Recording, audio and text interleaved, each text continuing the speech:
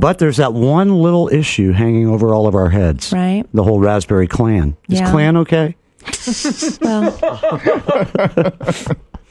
not in the not in the context you're using it. What do you mean?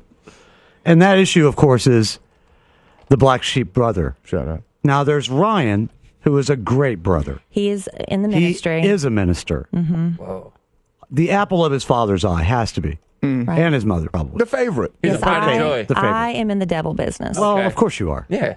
You work You're- with us. until I started making money at it.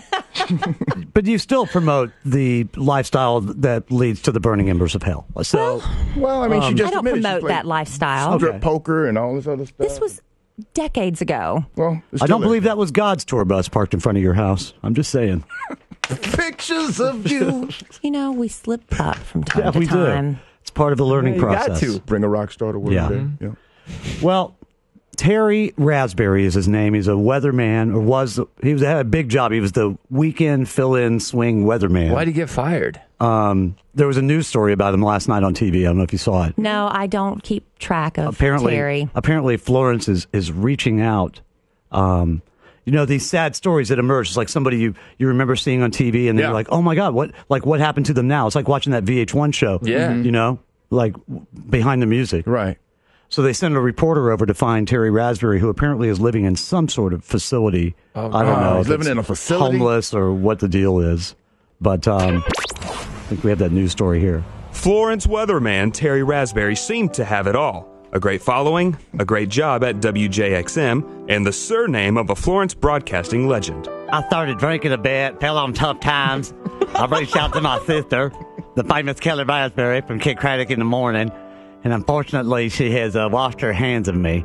Jerry says he hasn't talked to his sister in months, and she ignored his plea for help when his son came down with a disease after eating a grasshopper. It's not funny. That grasshopper was still alive when he swallowed it. Even when he was digesting it all the way down to the colon, you could still feel it jumping around in there. it was a big family crisis. And I asked Kellie for help, but apparently she was too busy. And that led me to drinking and doing bath salts, and now I'm homeless. Jerry says he hopes to come back to TV soon, but more than anything, he holds out hope that one day he can reunite with his famous sister, Kellie Rasberry.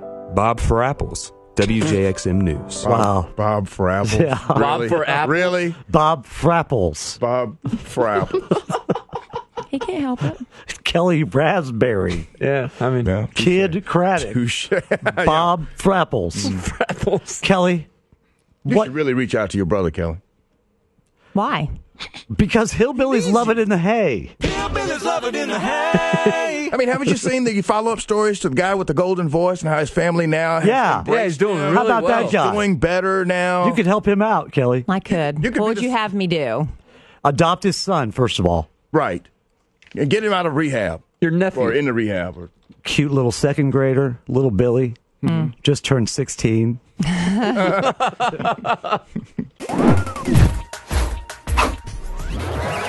Kraddick in the morning.